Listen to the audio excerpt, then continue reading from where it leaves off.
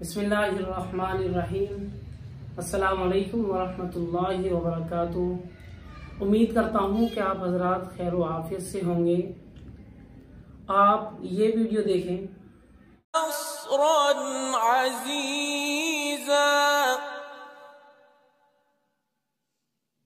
هو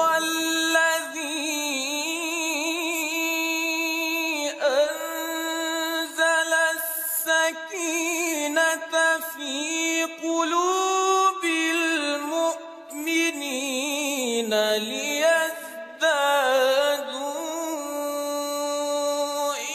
إيمانا مع إيمانهم.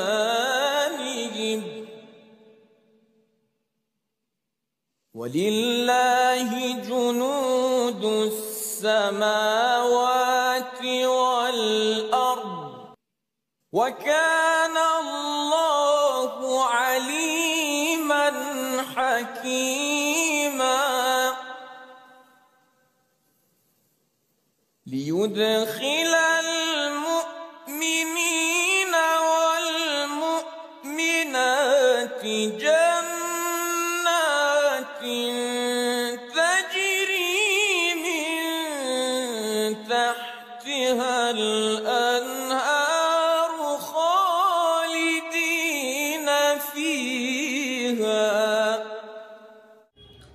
یہ تلاوت کرنے والے جو قاری صاحب ہیں، ان کا نام ہے قاری یونس شاہ مرادی، جنہوں نے کلام پاک کے کمپٹیشن میں سب سے زیادہ انعام اس وقت حاصل کیا ہے۔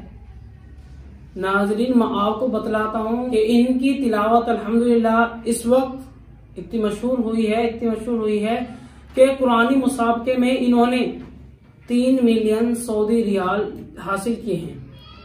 جن کی قیمت اگر بتائی جائے سعودی کے اعتبار سے تیس لاکھ بیٹھتی ہے اور انڈین کرنسی کے اعتبار سے بیٹھتی ہے چھ کروڑ۔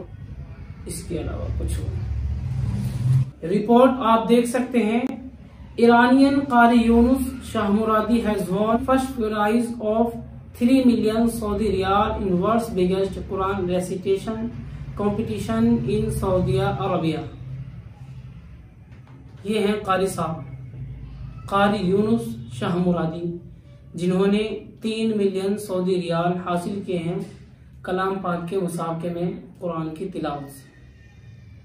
بتلانا یہ ہے، ماشاءاللہ، آپ کسی بھی لائن میں ہو، قرآن یہ وہ کتاب ہے جو دل کو ہدایت اور دل کو تسلی، نور بخشتا ہے۔ اسی لیے آپ بھی زیادہ سے زیادہ قرآنی مسابقوں میں شامل ہوں اور قرآن کی تلاوت زیادہ سے زیادہ کریں۔ قرآن گھر پر پڑھیں اپنے بھائیوں کے لیے، اپنے والدین کے لیے، اور ان کو بھی قرآن پڑھنے کی زیادہ سے زیادہ آپ دعوت دیں اور قرآن پڑھنے کی ان کو تلقین کریں۔ جڑے رہیں اسی طریقے کی نئی ویڈیو کے ساتھ۔ انشاءاللہ ملیں گے آگے کسی نئے مسئلے کے ساتھ۔ آپ ویڈیو کو زیادہ سے زیادہ لائک کریں، شیئر کریں۔ شیئر ضرور کریں۔ السلام علیکم ورحمۃ اللہ وبرکاتہ۔